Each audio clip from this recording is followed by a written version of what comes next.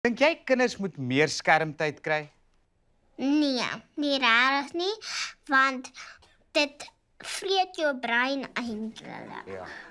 Skermtyd vreet jou brein want dit is sleg vir jou brein en dit laat jou meer Engels praat en dit laat jou inmeng met die tale wat jy nie praat nie. Dis hoekom. Ek sien Lalia se ma skud haar kop. Sy het mooi geluister.